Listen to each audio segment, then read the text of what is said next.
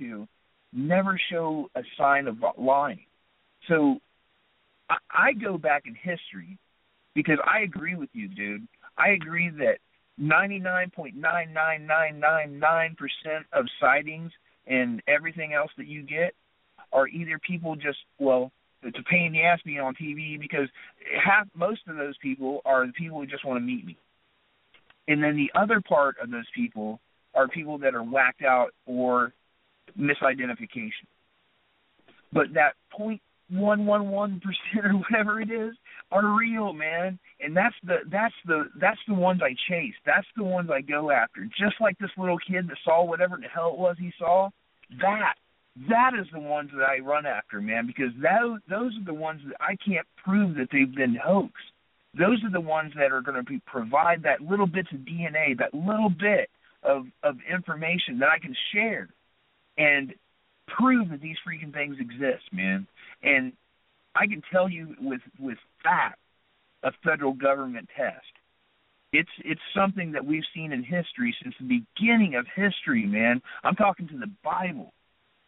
And and if you want to go further back than that, look up the book of Enoch. The book of Enoch refers to the Nephilim. The Nephilim are fallen angels. The Nephilim were thought to be giants, right? right? Yeah. And they see that these giants were so large that that the people who saw them felt as though they were like crickets, I believe, or grasshoppers, I believe. So like these things were were big. They were ten feet tall, you know, and you know through history, through the Bible, through all of this, you can track Sasquatch to the very beginnings of time, and, and that's why I truly feel that this thing is most likely a Neanderthal but you know, people think about these Nephilim, and, and that's a whole different show. I could talk about the Nephilim well, I'm, until I'm familiar everybody with Nephilim. Yeah, I've studied I've studied about them, so I'm familiar with that. So people feel that the Bigfoot is somehow re- related to the Nephilim. I do not personally I, I that. do not. I don't. I don't see that parallel. Yeah. Well, uh, you know, in Bigfooty, you got a, a broad spectrum of researchers and how they feel, you know, this thing came about. But sure, you know, uh, when you really look at it, definitely uh, documentation of these Sasquatch through history. You know, so it can't be a U.S. government thing. And I hate to cut you off and be, you know, be all Bigfoot guy, but you know, it, it's it's it's true. You know, and maybe you know I guess if you really look at history, uh, look back at, at Hitler. He tried to mate humans and gorillas together in order to create this perfect soldier. Are you familiar with that plan? Yeah. So you're right. There were definitely government experiments that tried to produce the most ultimate warrior ever through splicing DNA with humans and gorillas, but it didn't work. They tried, man. If Hitler could have pulled that shit off, can you imagine us out here trying to fight a bunch of damn human gorillas? Dude, that would have sucked. And basically, if they could have made that happen, you would have seen us fighting human gorillas in World War II. and that's straight up the truth, you know. Well, and that was documented. I, I, I can also can argue that somewhat. Somewhat. Um, Hitler also created the very first UFO, flying saucer, and that never really made it anywhere further than whatever. Yeah, you're totally right, man. Absolutely. You know, Germans made flying saucers for sure. You know, but eh, Hitler eh, was a, was a crazy genius, man. He, he was He able to take genius. crazy ideas before he went nuts and wanted to kill everybody. He was a freaking genius, man. Yeah. But, yeah. But Well, know, most he, of the crazy people are are are kind of bright and, and intelligent. Right, right. He decided to do a whole bunch of meth or something, man. He went wacko and decided to kill everybody on the planet. But before that, the dude was badass. He was like super smart, man. But you know that methamphetamine crap, it, just melted right in the jello. he was all fu- he was perfectly fine until he did some pot, and that was it. Then he was all fucked up. Pretty much. Yeah, pretty much, man. And but anyway, guy, I am freezing my balls off. I gotta Aw. get out of here. I gotta like go to Hooters and have a beer. I mean, that's where we're going. That's you know, if anybody wants to come out, hang out with us, we are going to the Hooters in Dayton, Ohio, right now. I want to go to Dayton, Ohio, for some odd reason. I'll bet you do. well, I got my But, own uh, Hooters, so I'll be keeping myself warm over here just fine. Why don't- why don't- Have a before you get off- Before you get off, why don't you tell everybody where people can contact you? Besides Dayton, Ohio, at the uh, Hooters. Yeah, yeah, definitely. I think really the best thing to do is Google my name. My name is Bill Brock, and I was on the TV show Monsters Underground. That's the easiest thing to do. You can get on YouTube, Google my name on YouTube, or actually just search my name on YouTube, Bill Brock, and it pretty much pulls up everything you could ever want to know. Uh, find me on Facebook, and feel free to chat with me. You know, I definitely chat with everyone. I'm not one of these TV guys that uh, ignore people. I will talk to you. If you have any questions at all, I'll, I'll help. And again, if you want any of my information that I've ever gathered on Bigfoot, ask me. I'll give it to you. And so, uh, yeah, get a hold of me, man. I'd love to talk to everybody that wants to talk to me. Excellent. And uh, on that note, why don't we go to our last commercial break of the evening, and uh, we shall return in a few minutes, everyone. Well, thank you so much for joining us, you guys. That was a lot of fun. That was awesome. Thanks. Yeah, definitely. I appreciate it.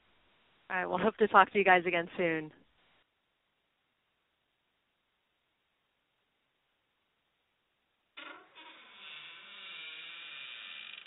Hello? Hello?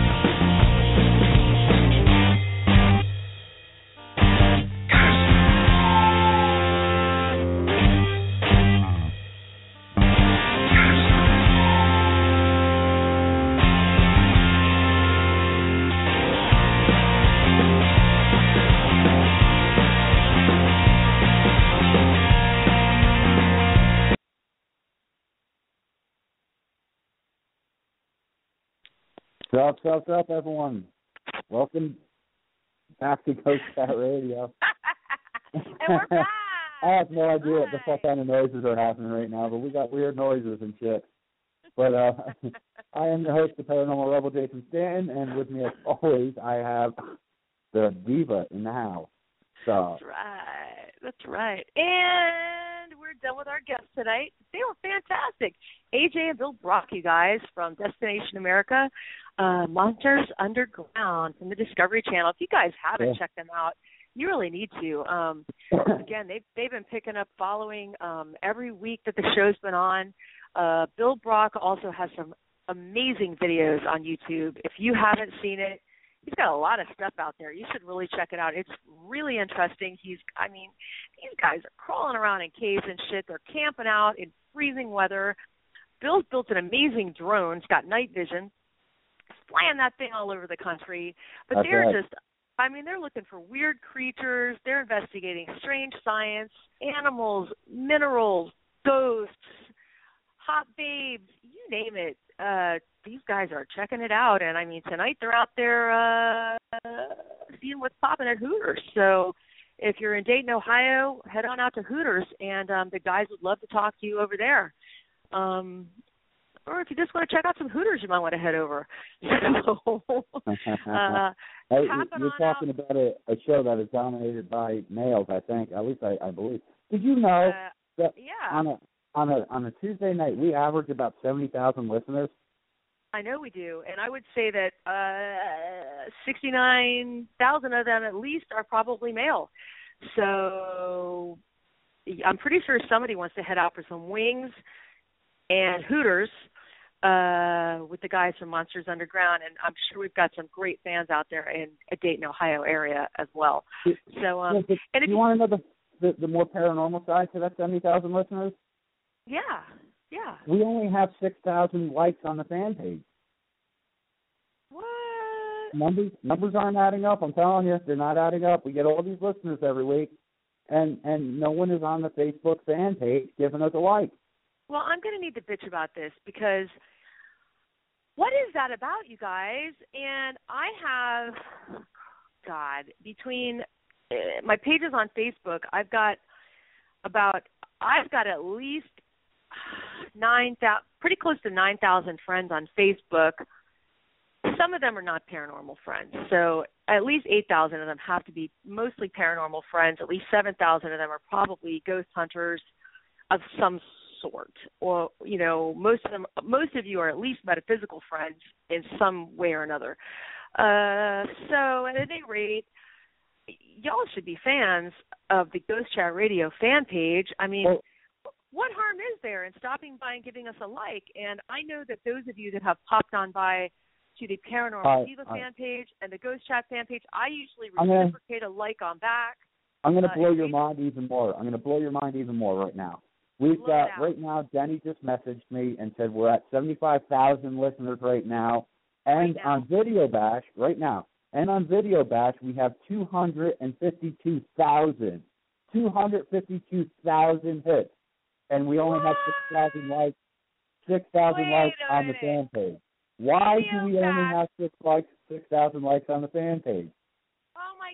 If you are out there listening to Ghost Chat Radio on Video Bash right now, I dare you to go over to the Ghost Chat Radio fan page on Facebook and give us a like. We should easily be up to at least 50,000 likes on there. This is crazy. And It not is. only That's that, insane. why can't we get some decent interaction on that page from you guys? And for that matter, um, I was actually ready to put out a challenge tonight. In fact, I didn't get a chance to do this because we jumped right into our um, interview tonight with Bill. But um, you know, I was looking today, Jay, at the Mirror, one of my favorite news sites, and you know, I was noticing on the Mirror. You know, we all know that that's a UK site, but I love that crazy Brit News. Uh, they have a thing going on right now. Your ghost stories, readers' chilling tales of mysterious figures and haunted houses, and you know how I love that. But you guys, come on, we are Ghost Chat Radio. We are Ghost Chat Radio in the U.S. Damn it!